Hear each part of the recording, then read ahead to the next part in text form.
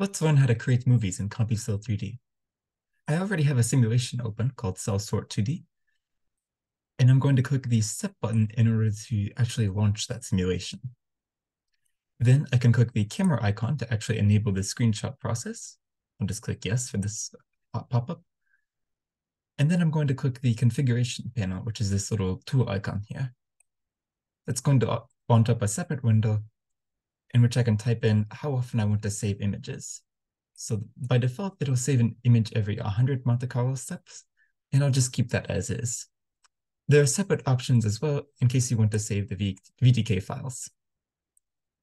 Down here, there's an option to specify the directory to put the images into.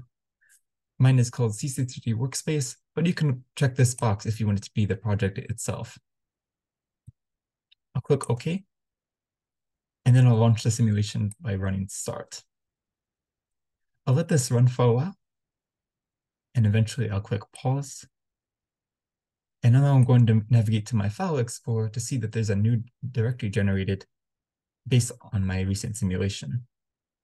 I'll look into this cellfield cellfield directory.